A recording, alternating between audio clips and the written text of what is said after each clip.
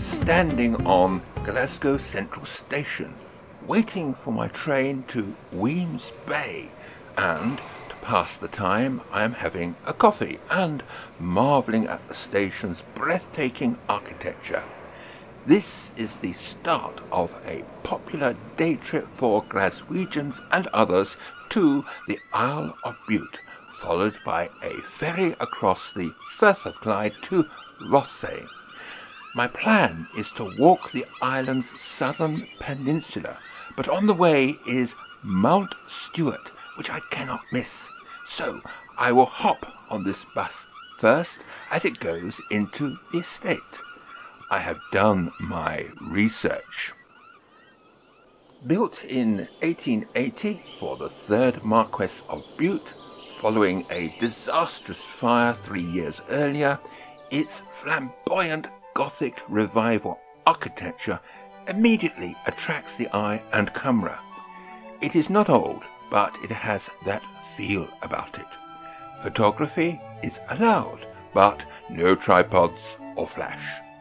I use the Zuiko 12-200 lens.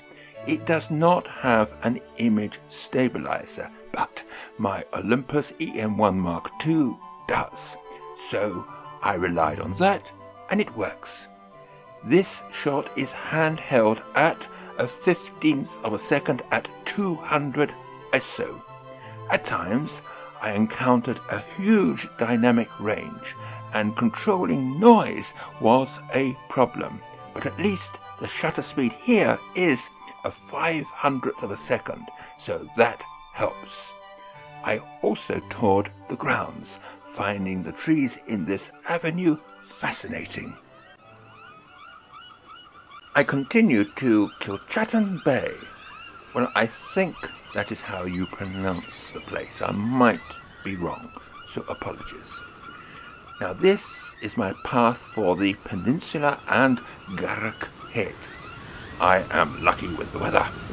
Not the best for atmosphere, but ideal for detail and distant views.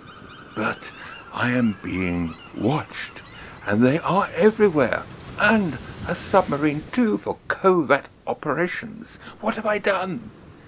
I found out that it was a rehearsal for a forthcoming exercise. The path had now narrowed and boggy in places, but that didn't matter, as I was wearing boots.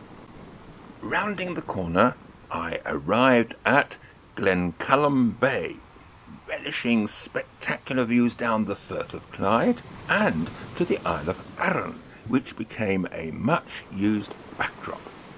The clarity of light brought out the texture and detail in the foreground rocks, and sharpness from front to back was guaranteed by using a wide angle lens and f8.